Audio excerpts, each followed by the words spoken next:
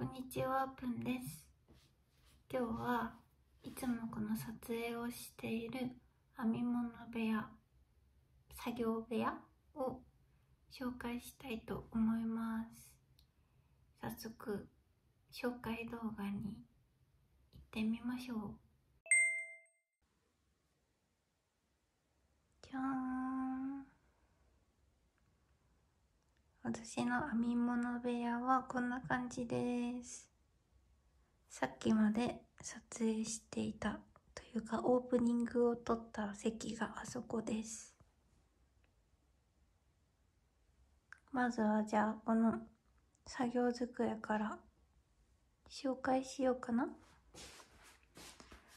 これは本当はこっち側にパートナーが座っていて二人掛けで使っていたものなんですけどついこの間書斎にお引越しをしていきました。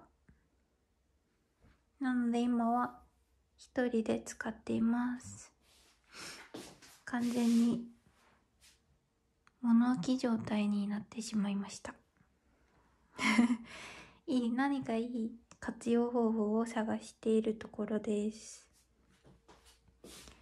でこっち側がいつも YouTube を撮影したりしているつく私の机です。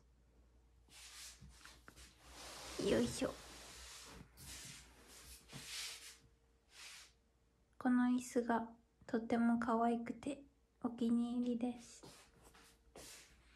このブランケットも自分で編んだブランケットなんですけど可愛くてお気に入りです。下にいるオットマンだっけ？オットマンの恐竜くんも可愛くてお気に入りです。壁にはこんな感じでお気に入りのポストカードとかを貼っています。机の上にはかわいい猫足のコップをペン立てにしていたり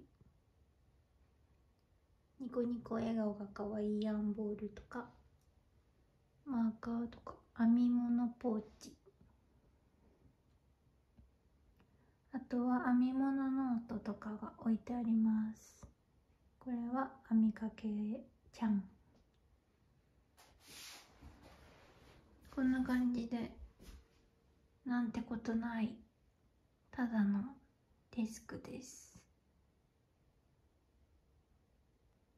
ここで YouTube の撮影をすることが多いです。でこの机からググググっとこっち側に行くとお気に入りスペース登場。こんな感じで。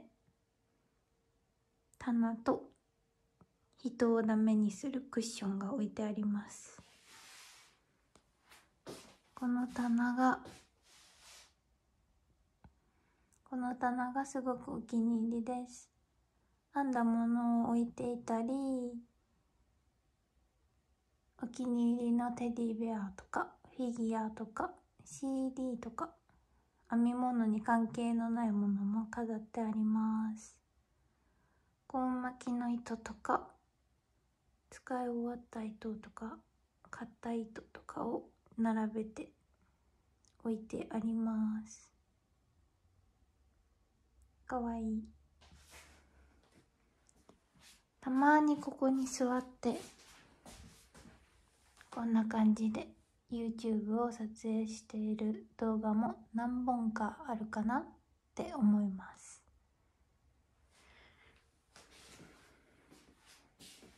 でこのこのビーズクッションの横に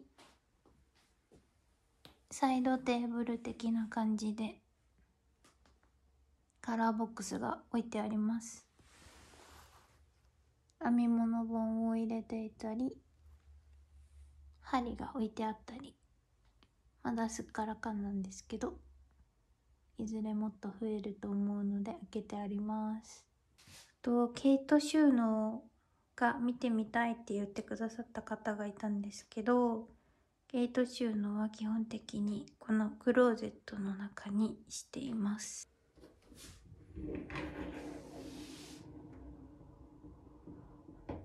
じゃん。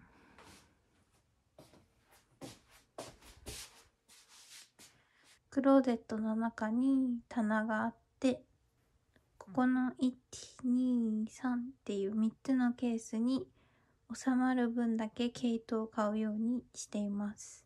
でも見ての通り収まっていない毛糸がここにあります。毛糸収納自体はこんな感じ。ここは使いかけとか使い終わって余った糸とか一玉ずつ買って使わなかった糸とかがジップロックに入れて保管してあります。こんな感じで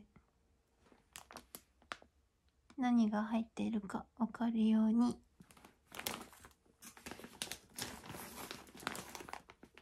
一つずつ書いてとっても乱雑に保管されています。ちょっとズボラがバレちゃうけど。ここはそんな感じで。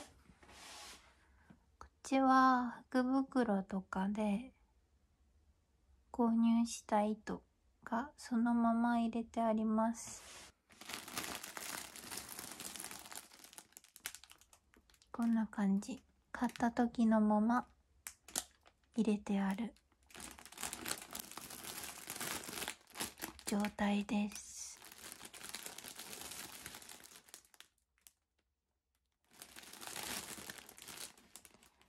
ここは編むものがまだ決まっていない糸編みたいけど編めていない糸とかが入っています。最後はここ。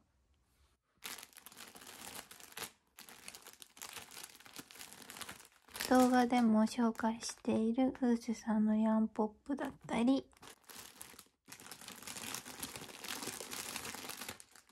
この間買ったサンパドゥスとか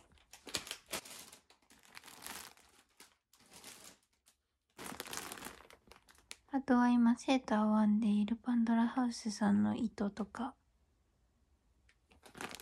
ここは基本的に編むものが決まっているもの編んでいるものの毛糸とかを入れてあります。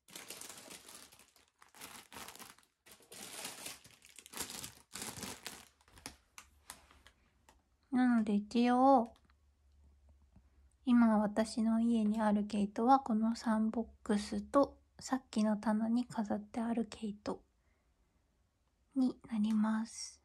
毛糸収納はこんな感じです。ここに収納しています。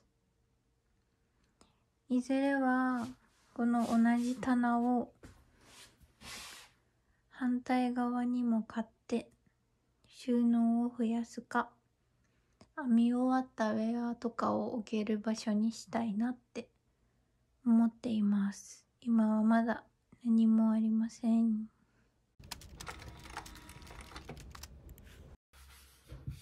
こんな感じでお部屋を少し紹介してみました。うん。なんてことないただの部屋なんですけど何か参考になることがあれば嬉しいなって思います。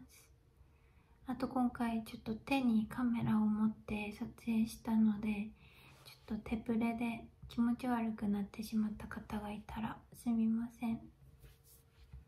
今回の動画はこんな感じで終わろうと思います。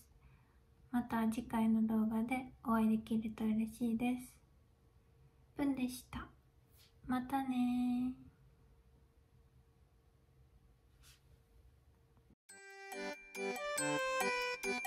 ー。